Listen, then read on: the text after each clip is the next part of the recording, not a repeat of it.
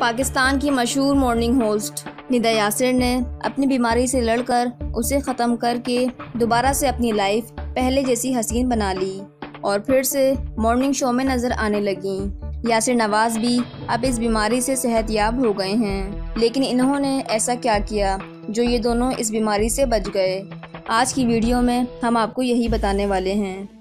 लेकिन video start करने से पहले नए आने वाले तमाम लोगों से गुजारिश है कि हमारे चैनल को सब्सक्राइब करके साथ मौजूद बेल आइकन को दबा दें, ताकि हर नई आने वाली वीडियो आपको सबसे पहले मिल सके। मशहूर मॉर्निंग होस्ट निदा यासिर भी उस बीमारी में मुबतला हो गई थी, जिसने पूरी दुनिया में आफत मचाई हुई है, और साथ ही इनके हस्बैंड यासिर नवाज़ को भी ये बीमारी हो गई थी। जब निदा यासिर इस बीमारी में मुबतला हुई तो इन्होंने मॉर्निंग शो करना बिल्कुल छोड़ दिया था।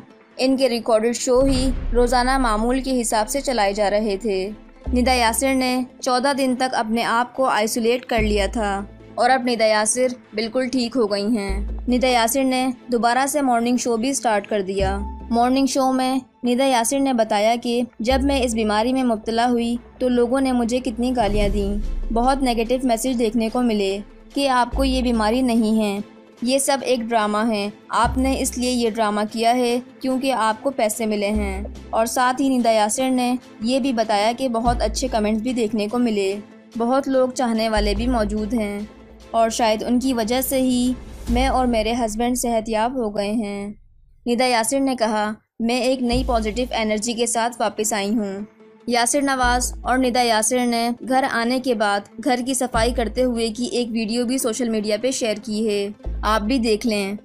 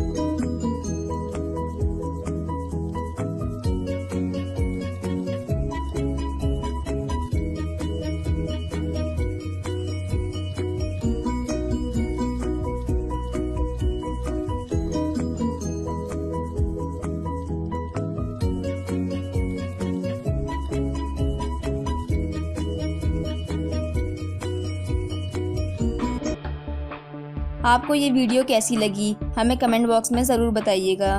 वीडियो को लाइक करें और शेयर करें। और ऐसे ही इन्फॉर्मेटिव वीडियोस देखने के लिए हमारे चैनल को सब्सक्राइब कर दें। Thanks for watching